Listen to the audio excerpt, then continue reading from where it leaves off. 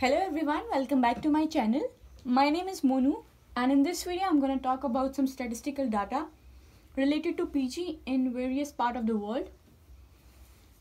I'm going to cover USMLE, PLAB, India, Germany and other countries.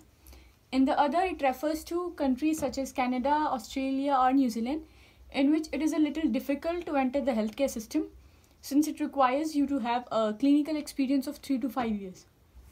So others is about Canada, Australia and New Zealand. Now before we head on to the exact figures here, I would like to tell you that this is from my perspective, my experience and my colleagues' experience. I hereby am not responsible for the exact figures. This is just like an estimated data. So let's get back to the main topic here. I have divided the video into uh, several aspects that is cost, which includes the application fee, the travel expenses, but it excludes tuition fees. So this is just the cost of, cost of giving exam. The second one is duration, that is the time that it requires for you to prepare. The third is preclinical and clinical. This is about the importance of these subjects in various different examinations. This one is PG, that is the duration of PG. After you give this exam, how much years it will take for you to be a postgraduate. Stay. Now this is the estimated cost for one month. One month in each country. Difficulty level. Now this is the part which is very personal. It all depends upon you which one you find more difficult. This is just from my point of view.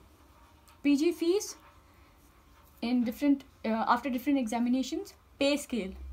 Now pay scale depends upon your specialty and subspecialty but here is the estimated value of your first stipend. That is the stipend you get during internship or during your first year of residency.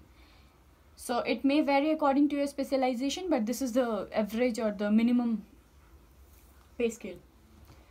Let's start with USMLE the cost of the application fees is $21000 now this includes your travel expenses during step 2 CS uh, during your uh, step 3 that is the exam that you give after you have after you're done with your residency application.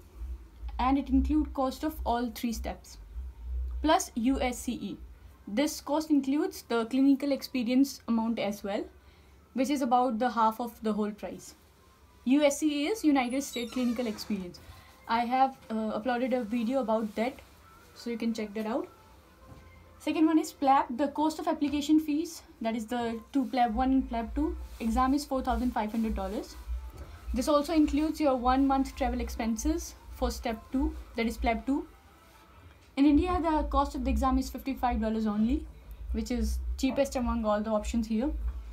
The exam cost for Germany is about $6,000. It includes the fees for the German language now since you know in germany you don't have a medical examination specifically for uh, specifically for the entrance purpose but it is about the german language which cost about 4000 euros and then some extra expenses. So that is in the dollars. Now in uh, plab in uk the currency is pounds but i have done this whole estimation in dollars. So you might convert it into the pounds or euros. For others countries such as canada and Australia, the application fee for the exam is $4,000.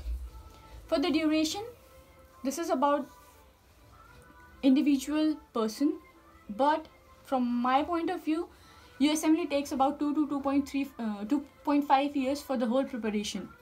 Like from the moment you have filled your first application for step 1 or step 2 whichever you prefer to your first day of residency. Duration is about 2 to 2.5 years. So this follows the same in PLAB 1.5 years. For Indian PG, 6 months to 1 year to prepare. Germany 2 to 3 years. Why? Why it is more? Because you have to prepare for German language. And there are several levels of the German language test. So it takes a little longer. For others, it's 1 to 2 years, same as compared to PLAB and USMLE. For the preclinical subjects, in USMLE, I have rated it out of 2. I have given it 1 for the PLAB 2 since in the PLAB the main focus is on preclinical subjects. In India, 1, Germany 0.5 because you got you need to focus mainly on German language, not on the medical education. For others, same. For the clinical one, USMLE, the clinical one is the highest, that is 2, PLAB 1, India 1, Germany and others 0.5, 0.5. So if you are preparing for USMLE, focus mainly on clinical aspects. If you are preparing for PLAB, India and Germany or other countries, you should focus mainly on preclinical subjects, even though both are very important.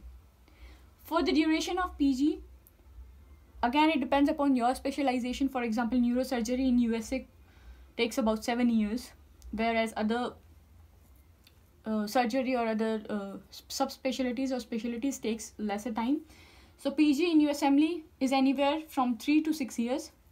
In PLAB, it is divided into three parts like two, three, and three if you have done your internship from India, this two will be one. That is, you have to do one year foundation in PLAB, then three, and then again three. In India, it takes three years for specialization and another three year for super spe- super specialization. In Germany, it takes about three to five point five depending upon your specialization. Others same three to six years. So the minimum here is three years, and the maximum is about six, but it usually goes up to seven or eight in case of surgery, plastic surgery, or ortho. For the stay, this is for the one month. Stay in USMLE, stay after your USMLE, that is, stay in USA cost about $10,000 a month. PLAB, $8,000. In India, if you are an Indian and it's your home countries, it costs nothing. Like it costs something, but you're with your family and basically the expenses doesn't count.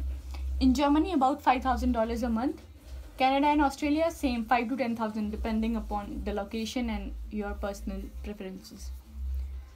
This stay includes the first, like whenever you go to a new place, you try to settle down there, and the first month usually costs you the maximum amount of money. So that's what I have included in the stay here. For the difficulty level, I have rated it out of 5 stars.